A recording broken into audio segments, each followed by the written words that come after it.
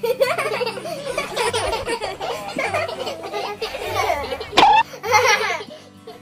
friends, so we just made a duct tape Bible marker. You remember we've done this before with sewing, but this one's super easy. And if you've got some duct tape around, man, you really can do this.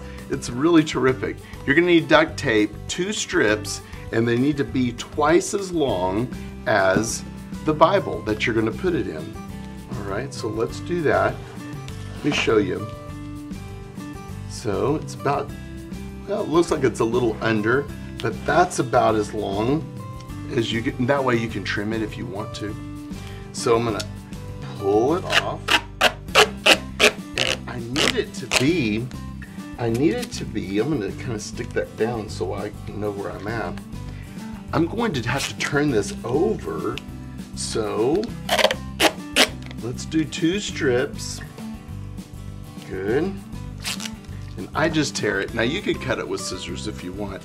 It better be really sharp scissors. They're a little challenging to do. So on one end, we're going to have the the little elastic hair uh, hair tie. So that, and then we'll also need a wooden bead. And this one looks kind of like a button. Do you see that? And we're gonna use a brad to put through it and then we'll put some tape on the back and that'll hold it. No sewing. That's so great because I'm kind of a no sew teacher. So that works out really good. So there we go. I'm gonna put the hair tie on first.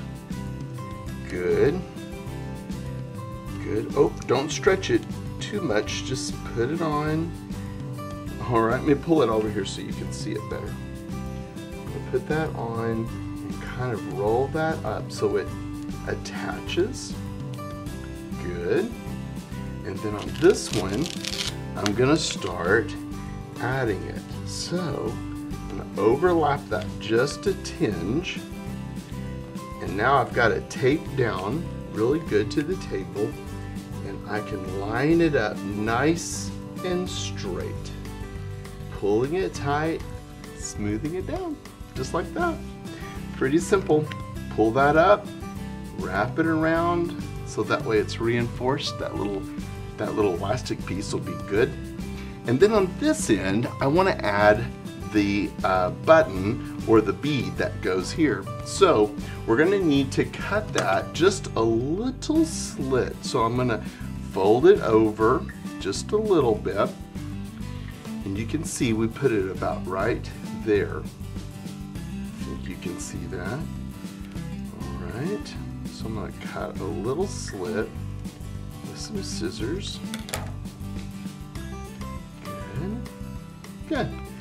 All right, now I wanna put the bead in my hand and I'm just gonna put the brad through it like that where it sticks out. And then place the, the brad through the little slit that I cut and I'm gonna turn that to the side and open up the little tabs so that the button stays in place. Now I need to add a little piece of duct tape just to cover those brads because I don't want it to come off.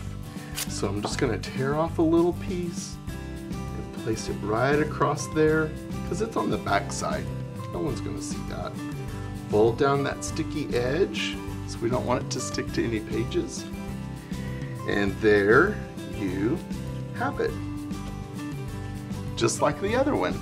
So I hope you'll give it a try. It'll be super easy and your kids will enjoy doing it. It just takes a little time. Don't get frustrated. Patience is very important. but if you have different kinds of duct tape, that'll make a big difference too. They have choices. I hope you'll give it a try. It's your duct tape Bible marker.